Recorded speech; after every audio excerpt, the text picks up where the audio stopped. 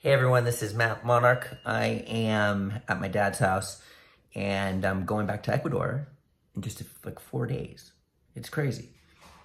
So I wanted to show you um, what I've been up to tonight.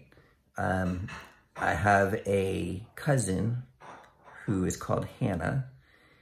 She's kind of like my niece because she's a daughter of my cousin and my cousins are like my sisters. It was kind of like we were brought up that way. So she's my cousin, but she's, I don't know.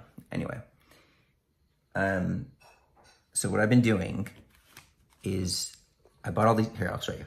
Bought all these pipe cleaners and I'm making her a Barbie. Okay, wait, let's get better lighting here. Okay, first we're just gonna look at the face. Look how cute that is. Can you believe that? I can't believe I made that. Anyway, then I'm making the body.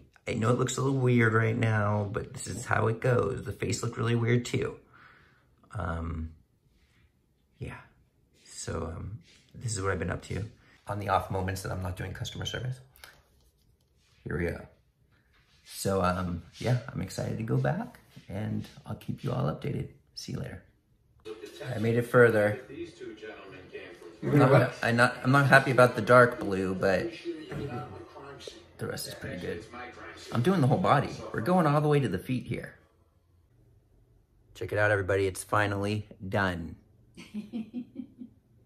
Hannah Rose's Barbie. What do you want?